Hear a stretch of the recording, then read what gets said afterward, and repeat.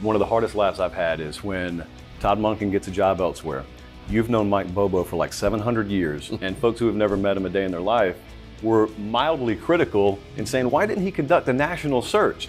Why did he just elevate from within? Plus, we've seen Mike Bobo before. We want something new. I'm delivering that to you just in case you don't subscribe sure. to the paper these days. So when you listen to that kind of stuff, what's your reaction? Other than saying, shut up. I love it because I'm like, it's the same crowd that when Mel Tucker left said, who's Dan Lanning?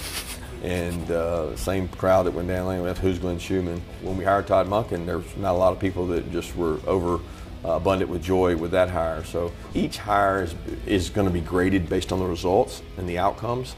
And to me, it's really a, more process related. I'm more thinking of like who's going to do the best job with our staff, who understands our staff, who gives us continuity. It was a really good fit, and we brought him in with the thought that if Monken ever left, we would be comfortable.